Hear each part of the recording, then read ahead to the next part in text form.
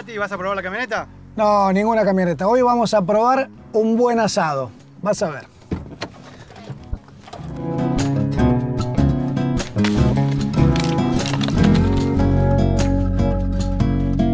¿Y prende o no prende?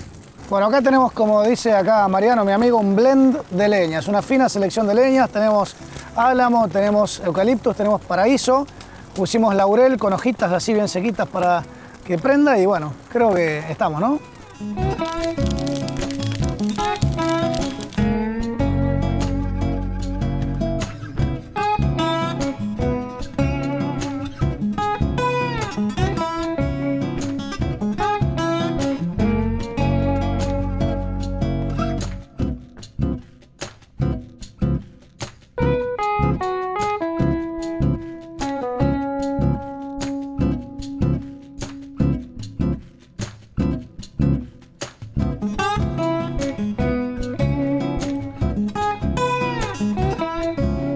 Y sí, seguramente te parecerá raro verme acá en esta situación, porque, bueno, estoy siempre con los autos en la pantalla, ¿no? Pero no todos son autos en esta vida, muchas veces me bajo, me subo a la bicicleta y tantas otras veces estoy acá con una tablita, un pedacito de carne, haciendo un asado. Un asado por lo general con amigos.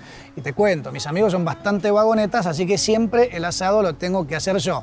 Eh, y desde chiquito, no soy un especialista, ¿eh? pero la propuesta para este video es, bueno, vamos a eh, grabar este momento tan lindo, vamos a hacer un asado ideal, pero no un asado de esos sofisticados que le meten condimentos, cosas raras, súper, este, así. No, no, vamos a hacer algo tipo un asado de campo, un asado simple con amigos, pero muy, muy rico, acordate.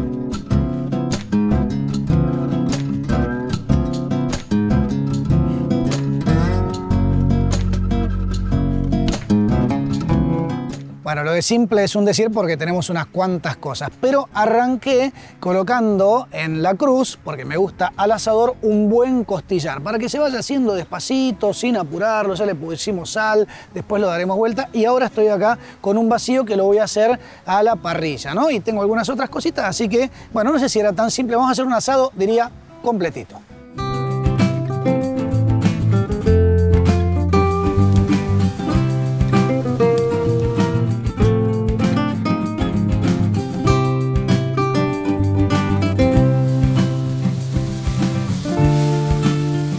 Viste que cada uno tiene su cuchillo, ¿no? Bueno, yo tengo este que me hizo un amigo de mi amigo Cristian.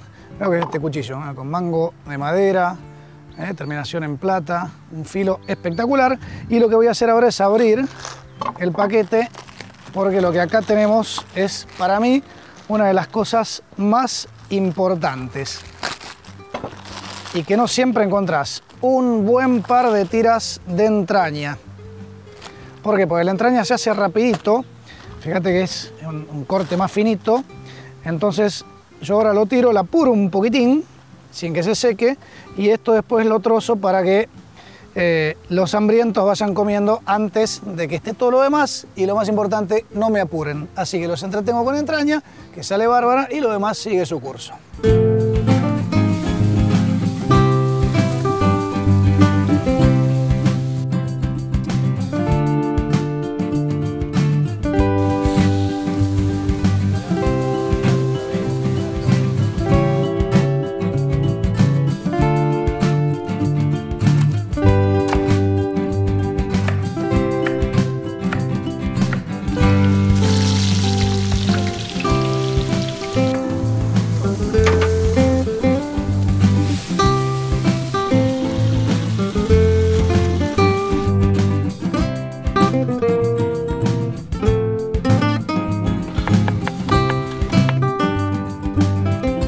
Quiero aprovechar esta ocasión para denunciar a mi equipo de producción y a todos los presentes que están acá depredando la comida. Vos mirá lo que es esto. Esto no es para un programa de cocina. Papas fritas hechas al disco en el asador en papel de diario. Déjense, igual están riquísimas. ¿eh? Mm. Quiero hacer algo ahora. ¿Dónde está mi pancito? Vamos a hacer un super chori. ¿Cómo es mi super chori? Vamos a cortar para que entre medio choricito mariposeado. Mirá, porque aparte el detalle, trajimos figacitas, ¿eh? Nada de pan rústico. Unas figacitas, ponemos el chori. Va, un pedazo generoso de proboleta encima y le vamos a poner, para darle un poquito de color y contundencia, un morrón acá, un pedacito de morrón, obviamente con ajo y aceite de oliva. Mira lo que es esto. Esto es una obra de arte, es un manjar.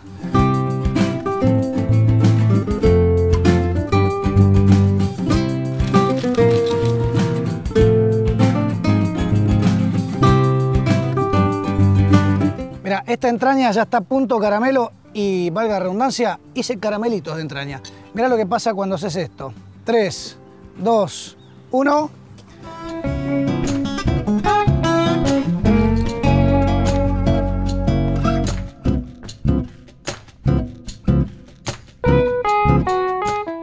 Che, para mí esto está impecable, ¿no?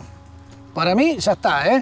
Mira, le inclinamos la cruz, pusimos un poquito de leña al fuego, ya está gritando otra vez, así que para mí esto está a punto para... Son como las 5 de la tarde, pero lo vamos a comer igual. En esto que para mí es el asado ideal.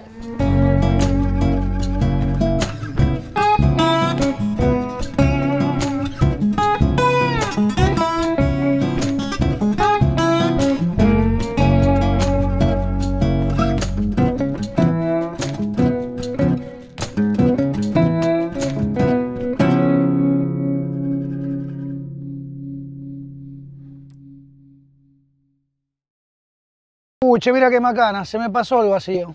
Está sequito. Dejen, che, me lo como todo yo. Boludo, me tiene que hacer un... Fíjense a ganar. Claro.